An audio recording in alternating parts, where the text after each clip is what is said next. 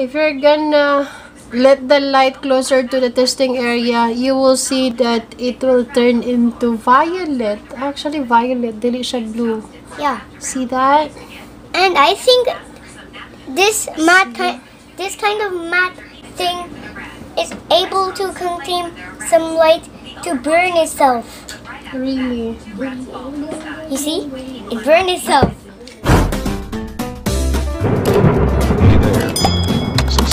My channel. And also press this bell icon. Good afternoon, Fox. Good afternoon, mga ka-team member. Uh, welcome back to my channel, guys. Na may nitingog. I'm so excited, guys, na i-share ko sa inyo yung nabili ko sa online. Um, wala lang. Medyo natuwa kasi ako nito. Matagal ko na itong tinitingnan sa online. Alam niyo anong nakaka-excite nito? Kasi yung gumagamit ng item na ito, kadalasan talaga yung nakikita ko ay mga celebrity, mga celebrities, mga artista ba? Ah, feeling. feeling kasi ko sa feeling sa nga artista ka, di ka artista day. Pero kidding aside guys, um, umorder ako ng dalawa, isa sa akin at saka isa sa anak ko. Kahapon siya dumating, tapos hindi ko siya binuksan. Ay, pasok kasi ako kahapon. Itong item na to, um, mahalaga to sa akin kasi nga lagi tayong nakababad sa computer. Taran! Ito lang naman guys. GNT Express. Tingnan natin. Anong tagunting ko sa tagunting ha? Ayun.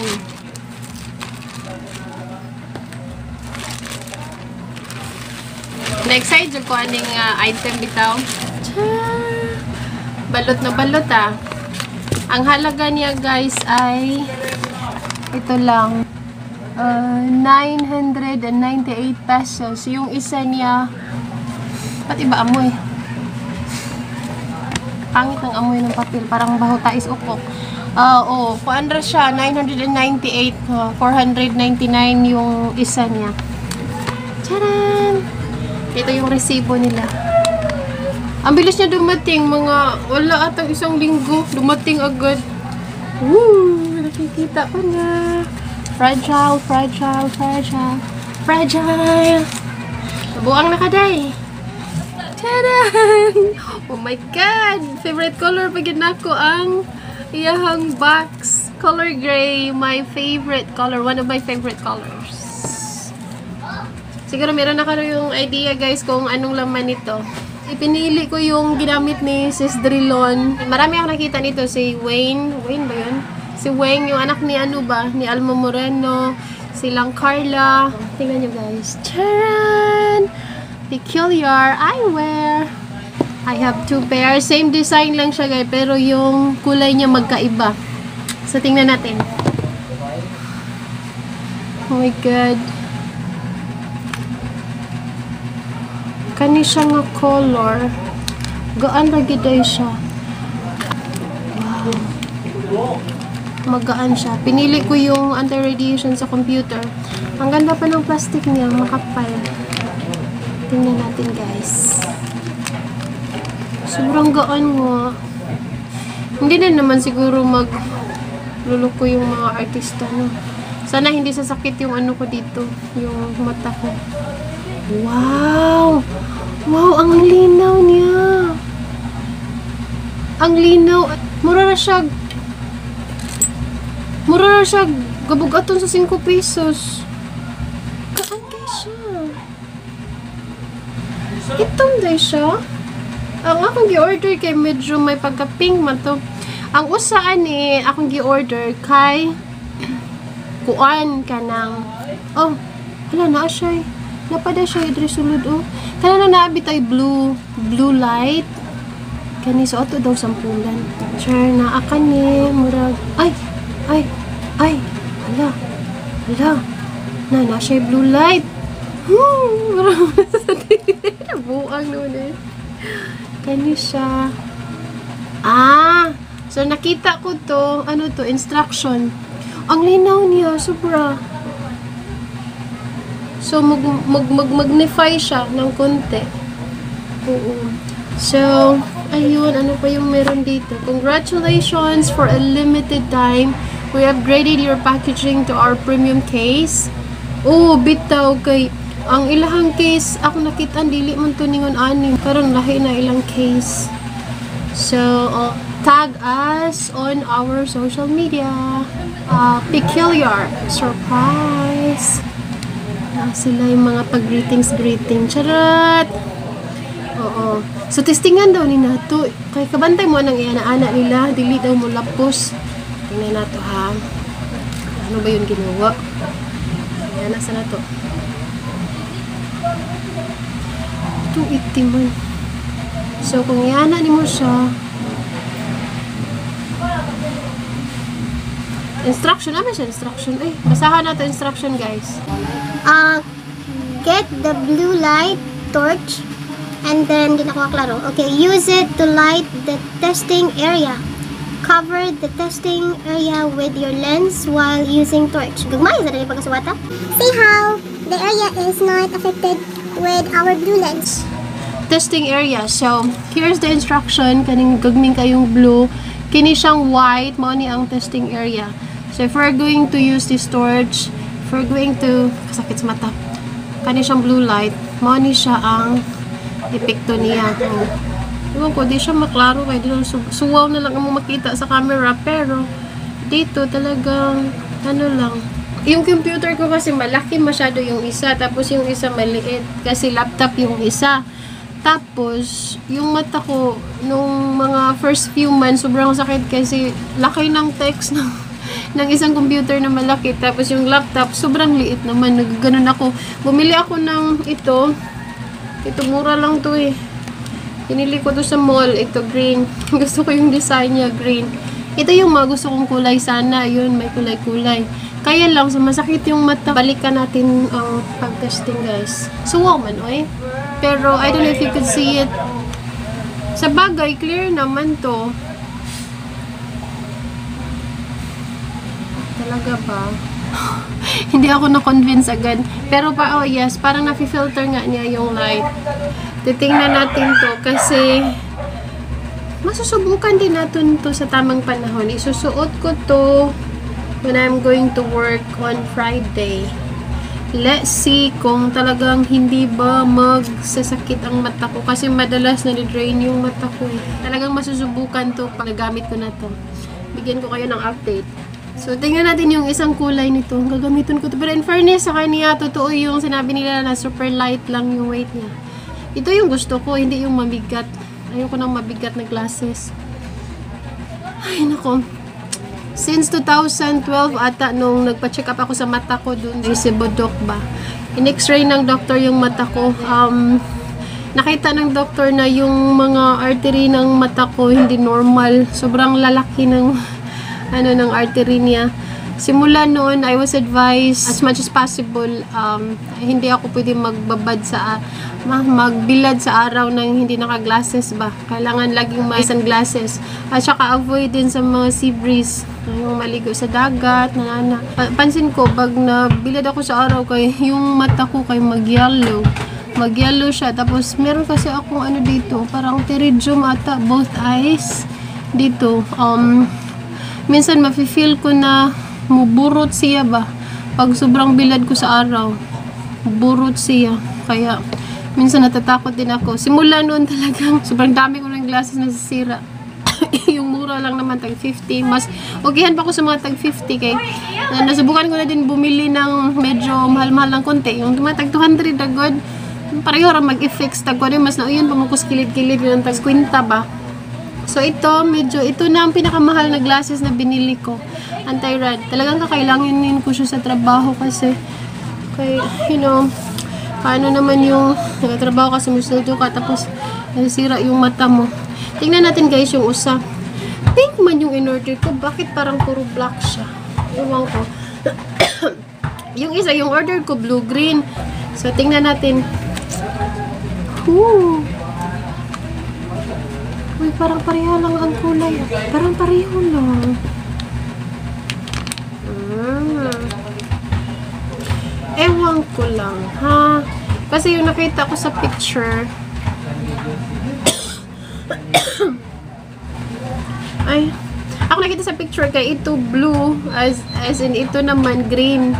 Ito, parang ano lang siya no, oh, parang may green. Parang ganun lang ata siya. So parang, oh, kung ganyan mo siya tingnan, parang green naman talaga. Yun yung pangalan niya, Peculiar. So, gagamitin ko to, tapos yung isa, ibibigay ko sa anak ko. So, masusubukan natin yung quality niya. Nasabi nila na talagang magpo-protect siya sa radiation sa computer. Yung mga bata, laging nagsa-cellphone. So far, yung gustong gusto ko sa kanya, yung lightweight niya. At saka fits lang din naman siya sa mata. Okay. Okay, naalagay niyo siya. Rate us 5, follow, and recommend. Peculiar. Peculiar eyewear. Uh, ano siya? 50 pesos. Voucher. And by the way guys, another thing na napapansin ko sa kanya, madalas kasi halos lahat ng mga glasses na binili ko, yung dito niya, yung pagsangyad ba, ano ba yun? Parang hindi siya pantay, pero so far ito pantay siya. Parang medyo napapagod yung mata ko, pero sigday lang. Kaya wala pa man sa gig ko itulog. Guys, dago kay tag eye bags. Oh.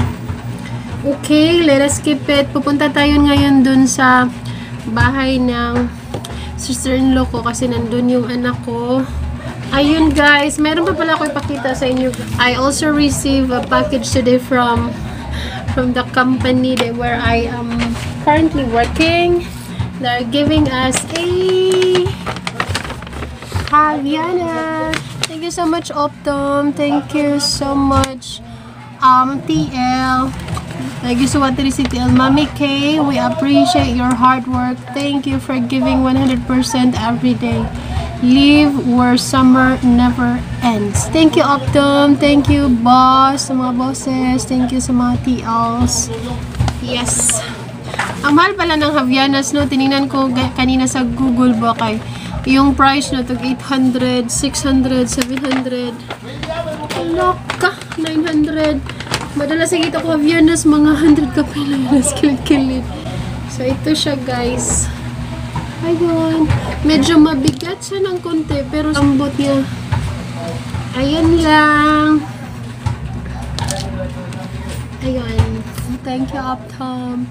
So that's it for today's video, guys. Thank you so much for watching, and I hope you, if you haven't subscribed, please, please subscribe. Forget to like the video if you like it, of course. Like, sige mag-like mo, mo ganan sa video. Try lang. Leave a comments, guys, if you wanna say something, especially for those who are using uh, peculiar eyeglasses. And that's it, guys. And happy rest days sa mga ka-teammates na ko. Bye! 24 hours later. Good morning! Nagbabalik tayo, Fox. And siya nga pala kahapon, meron akong mahalagang bagay na hindi nagawa dun sa yung naunang video natin. Um, yung ano pala, yung... Di ba kahapon medyo naguluhan ako bakit bakit parang ganun, ganito pala yun. So, using the lens of the glasses, you would see na talagang pinifilter niya yung, um, yung blue light. Whereas, pag itinira mo yung blue light directed sa testing area, then you would see that the testing area will turn into blue. Just like that. See that? Titigan yung mabuti, guys. Parang lobat na to ah. Titigan nyo yung mabuti. See that? It turns into blue. Dito mo siya nilagay, wala ka namang makikita. Oh, hindi mo nakikita nagtuturn into blue siya. Ewan ko kung klaro siya sa camera, parang hindi naman nata siya. Ulitin natin guys. Ang silaw. Ang silaw naman. Ayun. Tapos dito, yun. See that? Ayun na guys, yun, yun, yun yung na-miss ko kahapon. And aside from those um, experiences na kahapon, di ba sabi ko kahapon bibigyan ko kayo ng update after using the, uh, the peculiar eyewear. Um, I just want to be honest and fair and transparent sa, alam mo, yung talagang nararamdaman ko when I wore the glasses yesterday. In my first few minutes while wearing the glasses, I felt dizzy yesterday. I felt kasukaon. I felt headache. I felt uh, sumasakit yung mata ko. So, I, I was just observing sa nangyari kahapon. Again, for the first 10 to 20 minutes na suot ko siya, yun yung nararamdaman ko and I think that was a normal or initial reaction kasi wala naman talaga sira yung mata ko maliban dun sa big blood vessels pero yung mga yung sa grade normal naman tayo uh, vision ko So, I, I was really observing yesterday. Pagdating ko dun sa bahay ng sister-in-law ko, I felt yung feeling dizzy. Madali lang siyang nawala. Pero yung feeling ng sakit ng mata ko at saka yung feeling na nasusuka ko, it lasted for more than an hour. Kaya sinabi ko kahapon na, hmm, parang di ako convinced. Kasi talagang sumakit siya. Pero ngayon, naintindihan ko na parang tanggap na siya ng mata ko, ng katawan ko. Kasi talagang sinubukan ko siya kahapon. I was with my phone for more than 5 hours. Uh, nabot ko dito sa balay, mga alas city, oo. And then natulog ko mga 11 p.m. no. So I was on my phone browsing using the peculiar eyeglasses. And then, I didn't feel na anything like nasusuka. Ah, lalo na ngayon na medyo nakapagpahinga na tayo. Ayun guys, um, I would just like to give you an update sa kung anong nagiging pakiramdam ko while using this. At saka kahit ganun yung nararamdaman ko kahapon guys, halo-halo. Yung sinabi ko kahapon na sobrang linaw niya, hindi naman siya nagbago. Sobrang malinaw siya nung una at hanggang ngayon na sinusuot ko siya. Hindi nag-blurry yung paningin ko doon sa ano, doon sa kahit anong bagay na titingnan ko gamit yung glasses. So, I think it's it's gonna be okay. I would enjoy it, I believe. Um, using it every day sa to ang trabaho. 'Di ba?